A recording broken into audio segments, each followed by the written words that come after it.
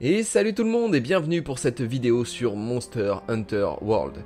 Et aujourd'hui j'avais envie de vous parler un petit peu des armes, armures et talents, parce qu'ils ont pas mal changé dans cet opus, et j'avais envie de vous montrer un petit peu comment cela fonctionne.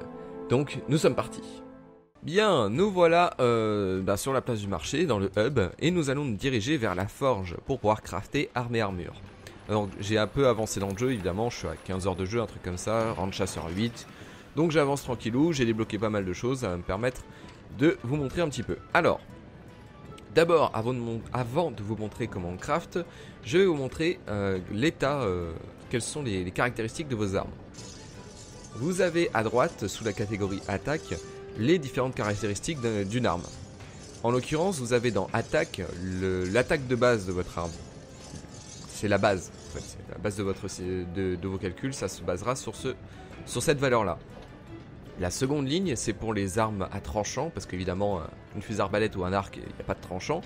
Les armes à tranchant, elles ont un multiplicateur, qu'on appelle le tranchant, et qui peut durer plus ou moins longtemps. C'est-à-dire que en jaune, le tranchant jaune a un multiplicateur de x1 sur votre attaque.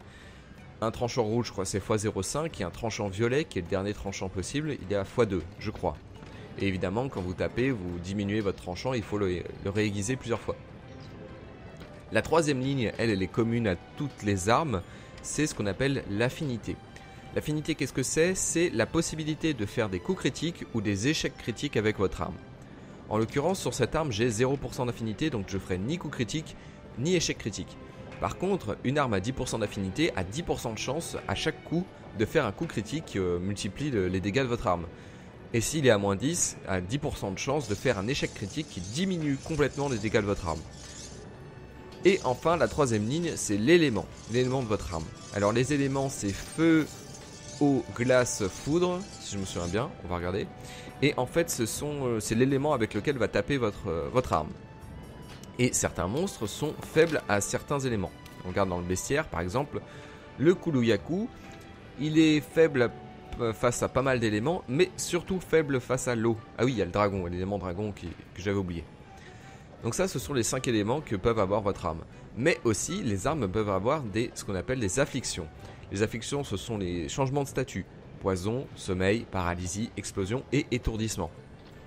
Et certains monstres sont plus réceptifs à certains que d'autres. Par exemple, vous voyez, euh, le Pouké Pouké, il est résistant face à l'eau. Donc ça servira à rien de l'attaquer avec des armes eau. Vous ferez moins de dégâts qu'une arme normale. À partir de ce moment-là, vous avez deux choix. Soit vous allez chercher des armes qui vont avoir beaucoup de tranchants, beaucoup d'attaques et beaucoup d'affinités. Soit vous allez chercher des armes qui vont avoir beaucoup d'éléments, moins d'attaques, moins de tranchants et moins d'affinités.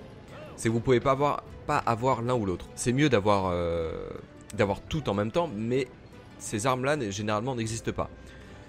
Je vous conseille de faire ce que, ce que tout le monde fait en fait, c'est de créer la plupart des armes, euh, vous créez les versions avec les éléments, c'est-à-dire vous créez une lame foudre, une lame euh, feu, etc., etc. Mais aussi une arme bourrée en termes de tranchant et en termes d'attaque, au cas où. Parce que vous pouvez avoir les armes nécessaires pour chacun des monstres, mais de temps en temps il y a des monstres qui sont résistants à trop de trucs, c'est trop chiant, donc plutôt vous pétez la tête à, à savoir quelle arme utiliser. Prenez une attaque, une arme qui attaque de type neutre, mais qui tape très fort avec beaucoup de tranchants et beaucoup d'affinité. C'est un compromis. Et après, vous avez certaines armes, comme par exemple, j'ai la Morpho H qui possède ce qu'on appelle une fiole. C'est quand il passe en mode épée, parce que la Morpho H c'est une épée et en même temps une hache. Le mode épée, il peut taper, enfin il tape poison. Sur cette arme-là, il tape poison et avant, elle tapait, elle tapait force, mais à force d'amélioration, elle a fini par taper poison. Certaines armes, comme euh, le. Comment ça s'appelle? Ah L'insectoglaive change, et pareil pour le. Les les fusils arbalètes, c'est des, armes qui sont... Euh, leurs éléments dépendront euh, des munitions que vous utilisez. Essentiellement. Ça dépend de beaucoup de choses. Maintenant, on va parler des améliorations. Comment on améliore ces armes? Alors, par exemple, l'arme que j'ai actuellement, c'est celle-là. C'est celle avec un petit E dans l'arbre des améliorations. D'ailleurs, l'arbre des, eh, l'arbre des améliorations, il est intégré au jeu, ce qui n'était pas le cas dans, les autres opus. Avant, il fallait se taper le wiki, il fallait chercher pour savoir quelle arme améliorer, qu'est-ce que ça donnait, etc. Donc, dans cette arme, vous visualisez tout ce qui est possible de faire, actuellement. En en cours de développement, vous voyez bien qu'il y a un encart à droite qui indique qu'il y a encore des armes de disponibles, mais qu'il faut que j'avance dans le jeu pour les débloquer. Vous avez les, armes qui sont en début d'arbre. C'est celles que vous pouvez construire de base. Parce que, hop, je peux le faire, forger, armes, si je vais chercher les Morpho H, ce sont ces armes-là. Ces deux armes-là de début d'arbre. Mais aussi, en plein milieu de l'arbre, vous pouvez en crafter. C'est, on va revenir sur l'arbre, ce sont celles avec euh, tout simplement euh, un petit marteau, un icône de marteau à côté c'est celles que vous pouvez crafter qui vous permettent de démarrer dans l'arbre. Et tout le reste, c'est des améliorations ou des désévolutions. Par exemple, j'ai commencé par celle-là, la hache minerai, puis enfin la hache bestiale 1 qui est là dans l'arbre minerai. Je l'ai améliorée en hache bestiale 2 à l'aide de deux minerais de fer, puis en hache bestiale 3 à l'aide de ces matériaux, et enfin en hache d'acier pur à l'aide de nouveaux matériaux. Cette hache d'acier pur, je peux la désévoluer en redescendant à hache bestiale 3 mais aussi je peux la faire évoluer. En l'occurrence, j'ai pas encore les matériaux. Et je pourrais la faire évoluer dans, l'arbre minerai qui va se diriger vers des armes poison. Oh, pardon, les serveurs sont un peu cassés en ce moment. Mais aussi, je pourrais techniquement la faire évoluer sur un autre arbre que je ne connais pas encore, qui est l'arbre qui a l'air de fournir des armes de type glace, qui t'apprend avec un élément glace. Et vous avez comme ça plein d'éléments possibles. En l'occurrence, moi qui suis plutôt DL, double lame, et eh ben je suis allé chercher aussi l'arbre minerai d'abord, mais aussi, mais aussi euh, l'arbre euh, sommeil. Je, sais pas pourquoi je suis allé chercher l'arbre sommeil, parce qu'en fait, ah si, je me souviens, je pensais que c'était l'arbre sans type, mais au final c'est un arbre qui donne vers du sommeil, bon pourquoi pas. Euh, je suis allé chercher l'arbre flotte pour les armes qui tapent haut, ainsi que l'arbre électrique. Donc Tobi Kadachi. Donc vous voyez, c'est ce que je vous ai dit, il faut aller chercher des arbres, euh, des, branches qui donnent euh, des éléments, mais aussi sans éléments. Je pense que je vais faire celui d'os par exemple, parce qu'il donne euh, explosion à la fin, c'est quasiment sans éléments. Et je suis pas allé chercher l'arbre feu actuel, étant donné que hop, celui-là il est à moins 20%, donc comme beaucoup d'arbres feu, quand les armes tapent feu, elles ont aussi beaucoup moins d'affinité. Ce qui est un petit souci, effectivement. C'est pas très cool. Moi, j'aime pas les, armes qui sont avec moins d'affinité. Même si, à l'aide de talent, on peut régler ce problème. C'est-à-dire que vous pouvez prendre des armes qui sont sans affinité, mais qui tapent plus fort, et ensuite régler le problème pour remonter votre affinité à un niveau acceptable, voire même le passer en positif. Mais c'est compliqué. Parce que ça, ça passe parce qu'on a... par les armures. Alors, les armures. Donc, les armures, c'est quasi pareil vous avez un certain nombre d'armures de disponibles qui sont généralement liées à votre, euh, au grand monstre. Par exemple, vous avez, euh, bon là les premières c'est celle de base, puis vous avez l'armure Vespoïde qui appartient à la catégorie des Vespoïdes, c'est-à-dire qu'il faut tuer des Vespoïdes pour, euh, pour crafter cette armure, l'armure Jagras, etc., etc. Ces armures, elles donnent déjà des, augmentations de, de défense, avec, vous voyez dans l'encart, la défense physique, qui est la résistance de base, et ensuite vous avez les résistances face aux éléments. Par exemple, résistance feu. Si je mets cette armure là, je vais diminuer ma résistance au feu, mais je vais améliorer ma résistance à l'eau. Tout simplement. Et ça, c'est valable pour toutes les armures, etc. etc. Et évidemment, il n'y a aucune armure qui donne tout en positif. Normal. Ensuite, vous avez les talents. Alors les talents, c'est différent dans cet opus là. Auparavant, dans les anciens opus, vous deviez avoir tout un set, ce qu'on appelle un set, c'est l'armure complète, pour euh, lancer, enfin, pouvoir lancer quelques talents. C'est plus le cas maintenant. Maintenant, chaque euh, morceau d'armure a un talent différent et les, talents fonctionnent selon ce qu'on appelle les niveaux. Par exemple, vous voyez ce talent-là, carnassier, qui augmente la vitesse de consommation de viande et d'objets. Au niveau 1, ça augmente très légèrement. Mais si j'avais une armure qui fournissait talent de niveau 3, ça augmenterait grandement la vitesse d'utilisation. Donc euh, la consommation serait extrêmement rapide. Et en fait, toutes les armures ont des talents différents. Ce qui vous permet de ne pas être limité à une seule armure, comme dans les autres opus où vous cherchez généralement un seul set, vous faisiez le set uniquement, et puis, c'était bon, quoi. vous avez votre set, et elle ne donnait pas plus que ça comme talent. C'est plus le cas ici, vous pouvez faire des mélanges de sets. Par exemple ici j'ai pris euh, Euh, cette armure là qui augmente euh, défense contre le feu, plus celle-là qui augmente la vitesse de récupération d'endurance, je sais plus pourquoi je l'ai pris, si parce que j'utilise des DL donc j'ai besoin d'endurance, la toxicologie qui diminue la durée du poison, et celle-là l'affûtage rapide qui réduit l'affûtage d'un cycle, ce qui est très pratique pour les, euh, les doubles lames, et le barotte qui donne une amélioration de réduction de coût d'endurance. C'est très pratique, encore une fois, pour les doubles lames. Mais il ne faut pas hésiter à se faire un set précis selon vos types d'armes. Par, exemple, en ce moment, je joue au Morpho H. C'est pas l'idéal euh, le, set que j'ai pris là. C'est un set qui était à la base plutôt fait pour les doubles lames. Et après, il faudrait d'ailleurs que je regarde un petit peu euh, les, autres, les nouveaux sets parce qu'à force de tataner les monstres, je suis arrivé sur des, des, nouveaux, de nouvelles armures avec de nouveaux talents qu'il faut que je regarde, voir s'il n'y a pas le même mais amélioré.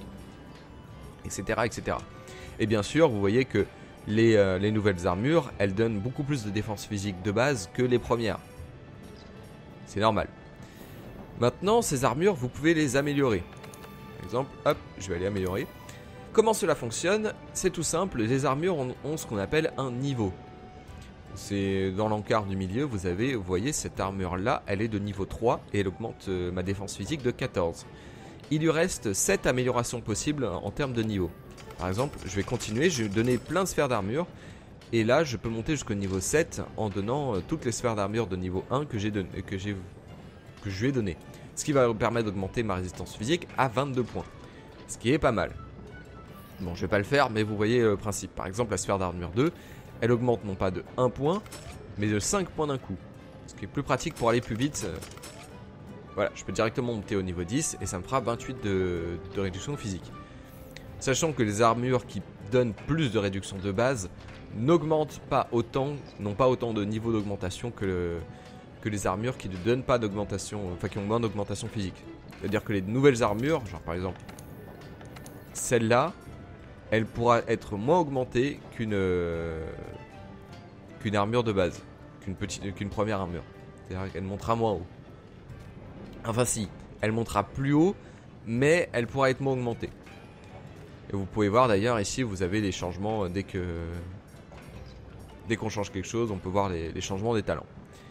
D'ailleurs, à ce niveau-là, j'avais oublié de vous préciser que certaines armures, comme par exemple, je cherche, euh, voilà, celle-là, comme la Lanjanat, possèdent ce qu'on appelle un pouvoir de 7, un talent bonus, en l'occurrence c'est adrénaline. C'est-à-dire, euh, lorsque vous avez trois éléments du 7, vous débloquez le pouvoir de Lanjanat qui réduit temporairement la, perte d'endurance lorsque la vie est inférieure ou égale à 40%. Voilà, ça c'est un bonus de 7 qui ressemble assez au talent des anciens opus. D'ailleurs, chose qui, qui change vraiment par rapport aux anciens opus, vous n'avez pas des armures pour épéistes et pour euh, artilleurs, ce qui était le cas avant. Les armures d'artilleurs, elles donnaient deux fois moins d'armure et avaient des talents différents par rapport aux armures d'épéistes. Ce qui n'est plus le cas maintenant, c'est-à-dire que vraiment vos armures elles sont euh, pour artilleurs et épéistes. Vous avez exactement la même défense. Ce qui fait que les armes, euh, les armes artilleurs ont des certains changements euh, en, termes de gameplay, où vous mettez beaucoup plus en danger. Donc voilà pour les armures. Maintenant, il reste un dernier truc qu'on appelle les amulettes. Ces amulettes, en fait, ce sont un accessoire, vous pouvez en mettre un sur votre armure, et cela vous donne un talent. Donc ça vous permet par exemple, euh, si vous dites ah il me manque ce talent, j'ai dû prendre cette armure là parce que parce qu'il y avait ce talent là, mais j'aurais bien aimé l'autre. Et eh ben il y a les amulettes pour, euh, pour pallier à ça. Si vous voulez un talent précis, il suffira d'aller crafter l'amulette euh, concernant. Et il y en a beaucoup, évidemment. Et je suppose que dans le endgame, il doit y avoir des armures et des amulettes avec des talents améliorés. Voilà, et après vous avez quelques subtilités, notamment, hop, casse-toi le tutoriel. Notamment au niveau des arbalètes, vous pouvez ajouter euh, des crosses, des chargeurs pour augmenter euh, les munitions. Enfin, là, on part sur du un petit peu plus, un petit peu plus précis, euh, des changements un peu différents. Voilà. Donc ça, c'était pour les armes et armures. Et comme vous pouvez le voir, c'est à la fois assez compliqué, mais en même temps, ça s'est simplifié par rapport aux anciens opus. Très clairement, on est sur du plus simple qu'avant mais en même temps c'est plus logique et plus agréable. Donc euh, je sais pas, moi je pense que je préfère cette façon de faire là parce que tout ce qui est la partie wiki, euh, dire qu'il fallait, aller chercher sur internet, savoir quelle arme on voulait, savoir quel matériau on voulait, par quelle sous-arme passer lors des améliorations, c'était putain de chiant. Là, tout est intégré dans le jeu. C'est plus intéressant, c'est plus intelligent. Non, moi je pense que c'est une bonne évolution. Ça simplifie le jeu, certes, mais en même temps, faut pas, on va pas se leurrer. Ça simplifie que dalle parce que on allait sur le wiki euh, quand on avait besoin de chercher une armure. C'est tout. Ça simplifie pas vraiment le jeu. Quoique, la partie épéiste euh, artilleur, je, suis un peu moins fan. Par contre, les changements sur les talents, c'est plutôt pas mal. Je valide. Du coup, ça vous permet d'avoir des jolies armures, euh, disparaître, de ne plus avoir un seul set, ce qui est assez agréable. Donc voilà, ça c'était c'était une vidéo pour vous expliquer un petit peu talent, euh, les talents des armes et armures. Je suis plutôt content. L'évolution est assez sympa, euh, c'est très fluide. Euh, on retrouve bien ce qui était dans, dans les anciens opus, tout en ayant une certaine partie moderne. Non, franchement c'est cool. Franchement c'est très très cool. Du coup, je pense que dans le prochain épisode, on va retourner en combat. Je vais aller tout simplement chercher un pote pour faire du multi en espérant que les serveurs soient fixes d'ici là parce que clairement en ce moment les serveurs ils arrêtent pas de cracher, c'est n'importe quoi. Du coup voilà, je pense que le prochain épisode ça va être du multi. Voilà voilà, j'espère que cet épisode vous aura plu. N'hésitez pas à me dire ce que vous en avez pensé dans la vidéo, dans les commentaires de la vidéo, à vous abonner à ma chaîne, etc. À passer aussi sur YouTube si vous avez apprécié euh, cette vidéo. Et puis quant à moi, je vous dis à dans quelques jours pour une nouvelle vidéo. Je sais pas si j'en sortirai euh, encore une nouvelle sur, euh, sur Monster Hunter World d'ici dimanche. Je pense pas. Je pense que ça sera la semaine prochaine, la prochaine vidéo Monster Hunter World. Mais il y en aura une dimanche. Il y aura une vidéo dimanche. Vous inquiétez pas. Et d'ici là, portez-vous bien. Et je vous dis salut à tous. Ciao